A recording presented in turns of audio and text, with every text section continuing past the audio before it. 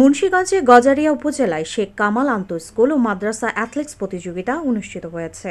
আজ দুপুরে মুন্সীগঞ্জের গজারিয়া উপজেলার গজারিয়া সরকারি পাইলট মডেল উচ্চ বিদ্যালয় মাঠ প্রাঙ্গণে বাংলাদেশ অ্যাথলেটিক্স ফেডারেশনের সহযোগিতায় উপজেলা প্রশাসন ও ক্রীড়া সংস্থার আয়োজনে এ প্রতিযোগিতা অনুষ্ঠিত হয়।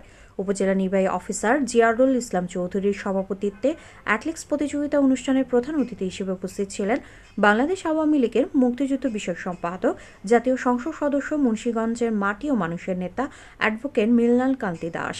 উপজেলা সহকারী commissioner G M Rashedul Islam, Gazaria union পরিষদের চেয়ারম্যান বীর মুক্তিযোদ্ধা মোহাম্মদ শফিউল্লাহ, বাউশিয়া ইউনিয়ন পরিষদের জনবান্ধব চেয়ারম্যান মিজানুর রহমান প্রধান, ইমামপুর ইউনিয়ন পরিষদের চেয়ারম্যান হাফিজুজ্জামান খান জিতু, ট্যাঙ্গারচর ইউনিয়ন পরিষদের চেয়ারম্যান মোহাম্মদ কামরুল হাসান ফরাজি, উপজেলা কৃষি কর্মকর্তা মোহাম্মদ তৌফিক এলাহিনুর উপজেলা প্রকল্প বাস্তবায়ন কর্মকর্তা মোহাম্মদ তাজুল ইসলাম প্রমুখ।